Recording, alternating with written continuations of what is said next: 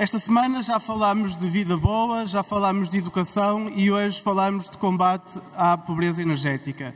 E parecendo que não, os três temas estão intimamente ligados, porque não podemos falar de vida boa quando tanto nos custa conseguir manter as nossas casas aquecidas e não podemos falar de educação, de direito à educação em igualdade, quando tantos estudantes, tantos meninos, tantas meninas não conseguem ter as suas casas aquecidas para terem o desempenho escolar que merecem.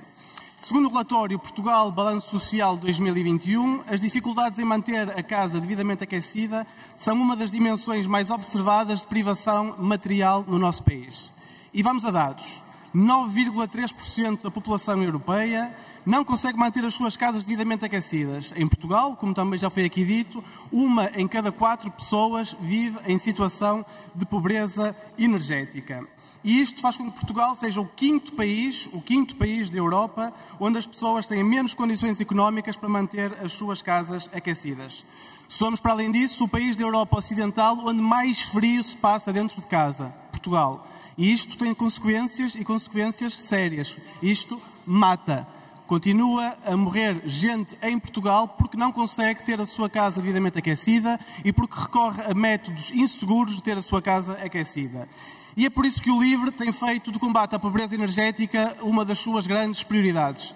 Já conseguimos aprovar aqui o programa 3C, Casa, Conforto e Clima, que quer ajudar na construção e na renovação das casas, aumentando e melhorando a sua eficiência energética e ajudando também à renovação do material eh, que esteja obsoleto ou que não seja eh, eficiente como poderia e deveria ser. Mas queremos mais, queremos continuar a fazer aquilo que caracteriza o LIVRE, que é propor medidas que melhorem a vida das pessoas e que o façam apoiando uma transição ecológica, aliando sempre, sempre, sempre a justiça social com a justiça ambiental.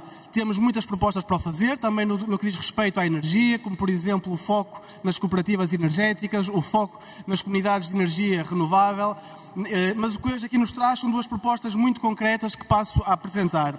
A primeira é a redução do IVA da eletricidade para 6%, porque o IVA é o mais cego dos impostos e é um dos mais injustos dos impostos, porque trata de maneira igual aquilo que são situações, aquilo que são pessoas muito diferentes. Um imposto regressivo uh, e em relação ao qual, no que diz respeito à eletricidade, pelo menos, devemos ter nos mínimos. Portanto, a nossa proposta é muito clara, que se baixe permanentemente o IVA da eletricidade para 6% por uma questão de justiça e também de equidade social. Sabemos bem que é uma medida uh, simbólica, mas é um simbolismo importante e que tem também um grande uh, impacto no bolso dos portugueses que não conseguem ter as suas casas devidamente aquecidas. Mas queremos também reforçar o nosso programa 3C um dos grandes avanços que Portugal conseguiu ter no que diz respeito à transição ecológica e energética e é por isso que o queremos melhorar criando um serviço de proximidade que facilite o acesso a este programa que é altamente burocrático e que tem afastado pessoas que poderiam e deveriam dele beneficiar e não o conseguem precisamente por essa burocracia.